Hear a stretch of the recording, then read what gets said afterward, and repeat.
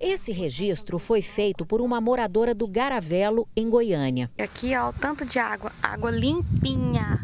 Está jorrando água aqui, ó, na numa casa aqui acima da minha. Não sei se o pessoal da Saneago veio, mas é isso aí, ó. E minha torneira já está faltando água. O vazamento durou cerca de três horas. O novo plano de racionamento da Saneago prevê que esse tipo de problema seja resolvido com mais rapidez. O projeto foi reapresentado à Agência Goiana de Regulação, a AGR. De acordo com o presidente interino, a situação é tranquila na parte abastecida pelo Ribeirão João Leite, que atende 48% da população. O que requer mais atenção é a parte abastecida pelo Rio Meia Ponte, que são os outros 52% é necessário captar 2.300 litros por segundo.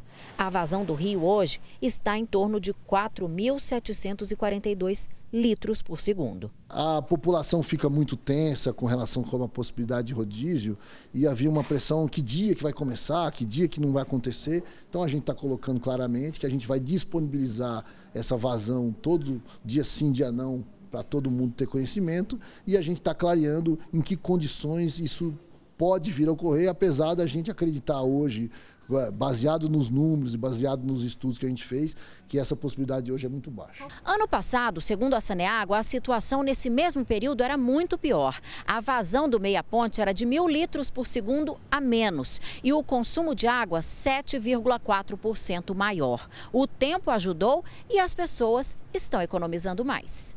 E tem que evitar mesmo lavar a calçada, o carro, diminuir o tempo no banho, reaproveitar a água que sai da máquina de lavar. O que vai ajudar muito também é a interligação dos sistemas, que vai levar a água do João Leite para o outro lado. A empresa espera terminar a obra da adutora até o dia 10 de setembro. Os trabalhos estariam 85% concluídos, só com esses trechos em amarelo ainda para acabar. Mesmo com essas medidas, se faltar água, eles se comprometeram a distribuir caminhões-pipa gratuitamente para creches, escolas e hospitais, que são serviços essenciais. Mas isso só vai ocorrer em último caso, se a vazão ficar abaixo dos 1.500 litros por segundo. Lembrando, hoje está acima dos 4.700. Os nossos técnicos analisaram, compararam com os dados históricos, então em agosto, isso hoje é dia 20, isso não tem mais 21, hoje não tem mais possibilidade de ocorrer. Para setembro também está tranquilo. Então, assim, existe um, um, uma possibilidade mínima, mínima mesmo, que essa, essa vazão caia abaixo de 1.500.